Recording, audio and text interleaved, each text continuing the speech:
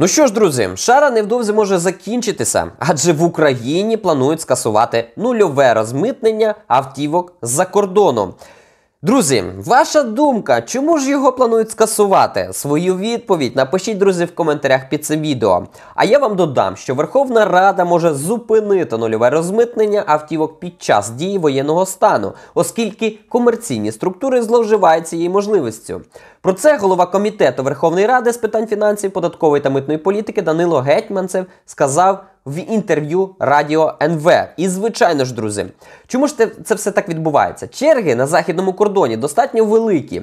Уряд запропонував таке рішення, враховуючи те, що велика кількість автівок була пошкоджена і буде ще пошкоджена внаслідок агресії. Це для всіх зрозуміло, що багато автомобілів просто згоріли, їх е, розстріляли і так далі. Хоча подекуди вони бачать, що заробляють від цього не прості люди, а ділки. І тому ми зараз розглядаємо можливість цей процес припинити, заявив нардеп.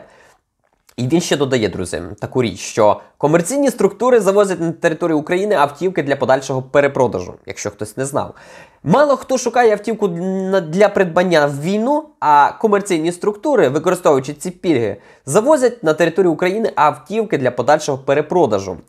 Тобто, друзі, як завжди, страждають прості громадяни. Чому? Перше, те, що вони не можуть швидко ввести автомобіль, тому що треба стояти на сьогоднішній день десь 2-3 дні в черзі. І повірте, черги ще будуть більші. Адже через цей ажіотаж, який створюється зараз, тобто вже зменшили кількість кордонів, через які можна ввести митні ем, е, ці автомобілі з-за кордону і розмитнити. Це вже ажіотаж, і ще плюс заявляють, що хочуть скасувати нульове розмитнення. Та черги будуть по 10 днів. Повірте, почекайте декілька днів. Чи відмінять це все? Друзі, я не знаю.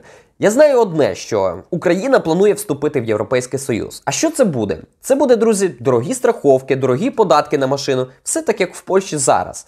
І, звичайно ж, ціни на автомобілі можливо впадуть, тому що. Ну, між Європейським Союзом немає кордонів. Так само, і якщо Україна буде в Європейському Союзі, то кордонів не буде між Польщею, наприклад, де можна придбати автомобіль дешевше.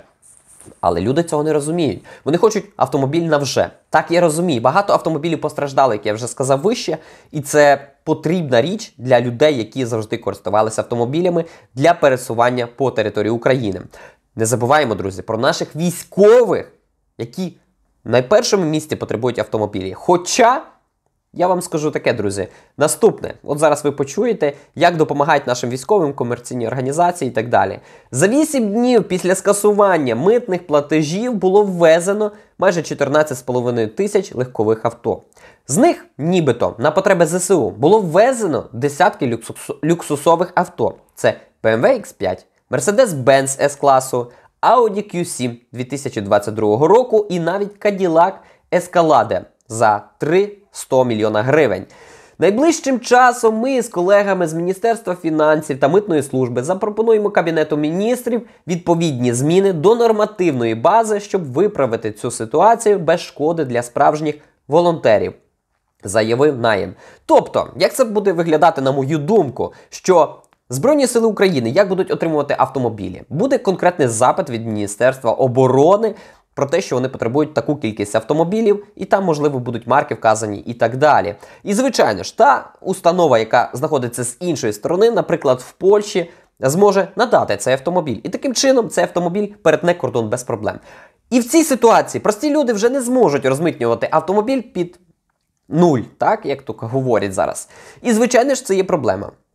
Проблема в кому? В комерційних організаціях. Всі мені писали, що я заздрю всім і так далі. Друзі, я не заздрю. У мене не стара машина, хоча вдома, там, де я народився, моїх батьків, мого брата, немає машини, і вони прекрасно справляються вже досить довго років без автомобіля.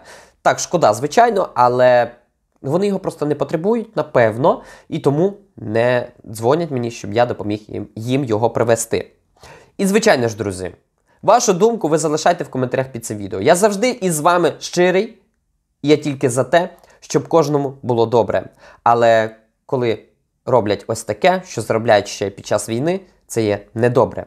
Волонтери волонтери вилазять зі шкури, щоб допомогти нашим Збройним силам України. І навіть вчора дівчина мені дзвонила і просила мене зі Львівської області, щоб я допоміг їй придбати е, бус для того, щоб вона могла перевозити транзитом е, Боже, транзитом перевозити допомогу для інших волонтерських організацій в Україні. На що я погодився, тому що досить шкода її, вона бере ці гроші в кредит, тому що бус коштує це 4-5 тисяч євро, такий, щоб він зміг їздити і не поламався вже за 100 метрів від того моменту, як вона його придбає. Адже в Варшаві її хотіли таким чином надурити. Тому, друзі, допомагаємо чи можемо, рухаємося далі. Я сподіваюся, що з цим законом все буде добре. Просто придумають зміни, які б дозволяли врегулювати і черги на кордоні, і ввезення простими громадянами, комерційними організаціями і на допомогу для Збройних сил України автомобілів з-за кордону. І буде все добре. Слава Україні, друзі! Героям слава і до наступного.